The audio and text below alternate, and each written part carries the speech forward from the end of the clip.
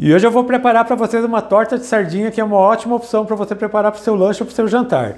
É aquela receita que a gente faz a massa no liquidificador e mistura todos os ingredientes do recheio na massa. Ela fica simplesmente deliciosa. E para você aprender direitinho como é que prepara essa receita, fica comigo até o final desse vídeo. Se ainda não é inscrito aqui no meu canal, já se inscreva, deixa aquele joinha e a gente começa preparando os recheios dessa torta. E para essa receita eu estou usando duas latas de sardinha, eu tirei aquela espinha do meio e piquei ela em pedaços. Eu vou acrescentar uma lata de ervilha sem a água. Uma lata de milho verde também sem a água. Dois tomates médios picados sem semente. 60 gramas de azeitonas picadas. Meia cenoura ralada. Uma cebola picada, eu estou usando a cebola roxa, mas você pode usar qualquer cebola que tiver em casa.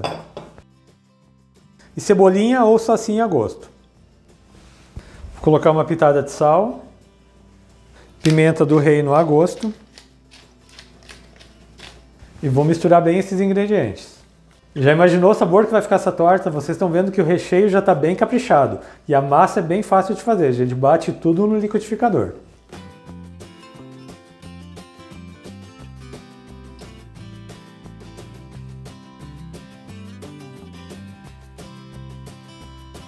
O recheio já está pronto, agora é só fazer a massa. Para a massa dessa torta são três ovos, uma xícara e meia de leite, uma xícara de óleo, uma xícara de amido de milho, uma xícara de farinha de trigo, 50 gramas de queijo parmesão ralado, aquele queijo de pacotinho, Vou colocar também meia cebola picada para trazer ainda mais sabor para essa massa. E já vou colocar o fermento, uma colher de sopa de fermento em pó. E agora é só bater todos os ingredientes até a massa ficar bem homogênea.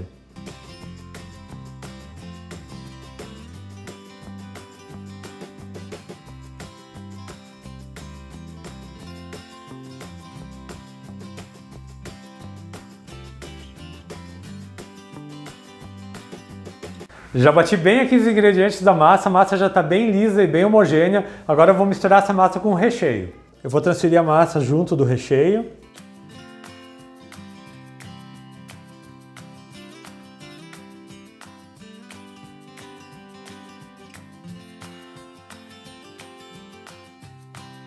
Agora é só misturar bem essa massa com o recheio.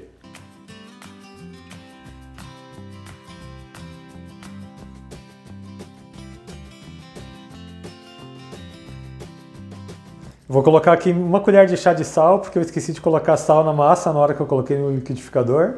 E é só misturar bem. E já vou passá-la para a forma. Para essa minha torta de hoje, eu estou usando uma forma que tem 30 por 20, ela já está untada e polvilhada com farinha de trigo. Eu vou transferir para cá toda a massa e me conte aqui nos comentários, você já tinha visto uma torta de sardinha assim, que você mistura recheio na massa? Quero saber a sua opinião. Agora é só acertar a massa, já vou levar lá para o forno e aqui em casa essa torta faz o maior sucesso, então tenho certeza que vai ser um sucesso aí na sua casa também. E ela precisa assar em forno pré-aquecido a 180 graus por aproximadamente uns 45 a 50 minutos.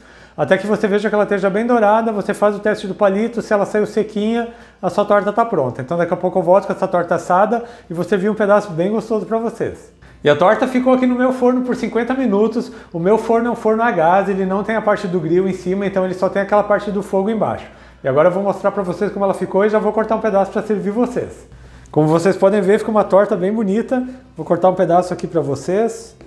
A massa fica bem macia, está bem recheada, fica recheio em todos os cantinhos. Só vou virar ela para esse lado para ficar mais fácil para mim tirar o pedaço. E agora você já pode preparar aí na sua casa para servir para seus amigos, para sua família, que você vai adorar.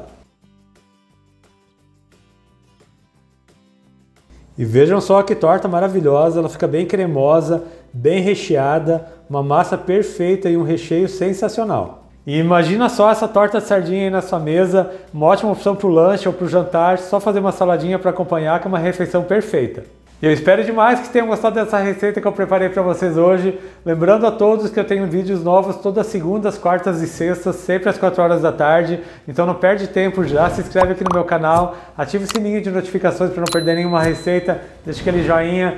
A todo mundo que me acompanhou até aqui, muito obrigado. Deus abençoe vocês, um grande abraço e até mais.